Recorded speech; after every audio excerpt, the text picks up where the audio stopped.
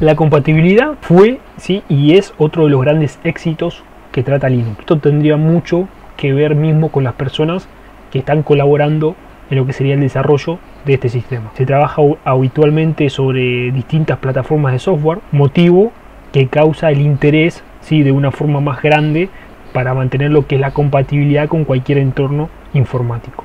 Se podría decir que alrededor del 50% del software producido a nivel mundial, ¿sí? no te hablo a nivel local o americano, no, a nivel mundial se podría ejecutar sobre plataforma Linux. Yo te diría más que el 50%, un 60% o un 70%. Hoy en día con el tema del desarrollo y todo lo demás, eso se fue incrementando. Entre otras cosas, también se logró interconectar lo que son los servidores de red Nobel, uno de los antiguos servidores y actuales que se fueron desarrollando con cualquier tipo de servidor Linux, de forma que es posible montar nuevos volúmenes desde Linux sin problemas. Fíjate que el tema de la compatibilidad es de gran importancia en Linux. No te estoy hablando solamente de una distribución, no te estoy hablando de diferentes distribuciones de Linux, sí que sean compatibles con la parte de servidores.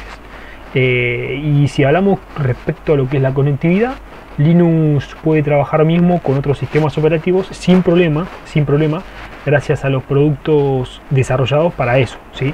lógicamente. Y uno de los más usados es Samba. Es un tipo de sistema operativo, una distro de Linux que se utiliza mucho en los servidores. Es, si mal no recuerdo, del año 2000 y pico, un poquito más antiguo a, las distribuciones nuevas que se fueron sacando para servidores, pero bastante estable, te podría decir. Y con unas versiones mucho más actualizadas, con versiones LTS y todo lo demás.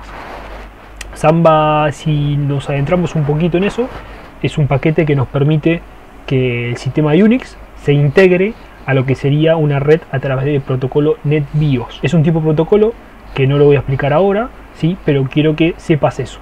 Eh, de la forma que los sistemas Unix pueden integrarse en redes tipo LAN Manager y compartir lo que son los recursos con otro tipo de sistemas, así como ofrecer los recursos propios a los demás. Eh, entonces AMBA podría decirse de alguna u otra forma que sería un conjunto de aplicaciones que mismo permite establecer un total comparticional de lo que serían los recursos en sistemas no homogéneos, o sea, no sistemas iguales, sino heterogéneos, de diferentes índoles.